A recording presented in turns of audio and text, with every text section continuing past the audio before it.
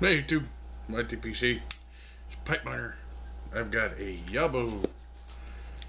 I just got back from, uh, had a meetup today at Omaha with uh, Jeremy Larson and Billy Smock and Patriot Piper was there. So just got home from that and checked the mail and Jimmy had told me he was sending a package, but I honestly, with as much business as they've got going right now, I didn't figure to see it till next week, but it's here. So, got home. Billy handed me another package of samples up there, so I gotta get them put away. Now I get to open this up because I know Jimmy said he's he threw in a couple of uh, cigars, so I need to get them out of here and put in the, the, my tupperdor so that they can start acclimating because they've been sitting out in the cold for however long today. But using the uh, official pipe or package opener from Jared, which I have to be rather careful with because this thing is sharp enough to shave with. So you don't want to slip while you're opening the box.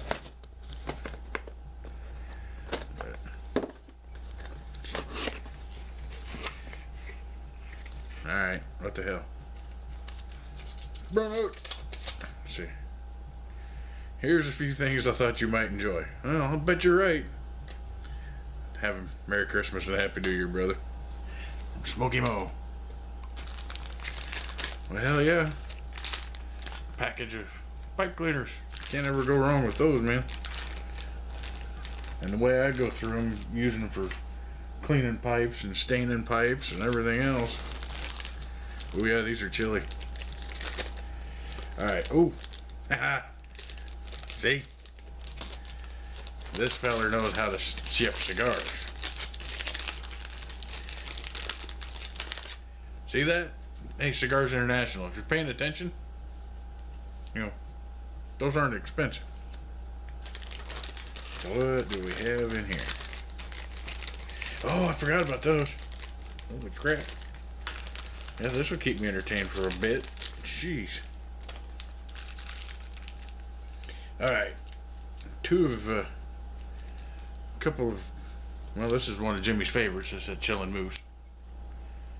I've never had one of those, and he's always talking about how good they are. And there's, uh, two of these, uh, Kentucky Fire Cured Swamp Thangs. That's the one with the, uh, Candela wrapper on it. That should be good. And then these we've talked a bunch about. These are the little uh, uh, of Provider number nine cornets. You can buy them and they sell these in the uh, tin packs. I think they're little metal tins. They're like a four by thirty-eight ring gauge. So just a small, quick smoke, probably twenty or thirty minutes. And then there's this. We know what that looks like.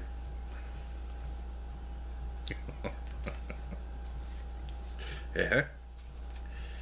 We had talked about this once. This is the J. Mouton Custom Pipes Cutty that Jimmy bought from him, I don't know, uh, quite a while ago. Uh, I don't have one of Jason's pipes. I've seen several that I like, that's a nice. Integrated, you know, cut tenon. Yeah. I like that. It's got Jason's stamp on it. Yeah, that's gonna get some use. That's a nice looking pipe. Thank you, Jimmy. I appreciate that. That's a that's a nice pipe. Lightweight. Man, I'm telling you what, I think the stem weighs more than the stummel. No, that's the accent ring. Wow. That's going to be a nice one. We'll, uh, as the saying goes, look on to old pipe miner. and I'm a clencher. This thing is great. Hell yes.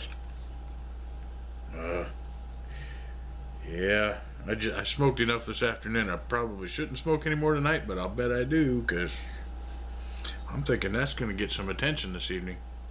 We'll let it sit in here and warm up and get cozy, but ah, Jimmy, thank you, brother. I appreciate it immensely. That's uh, I will enjoy these sticks, and that pipe is definitely going to get enjoyed, and it's going to stay with me for a long time.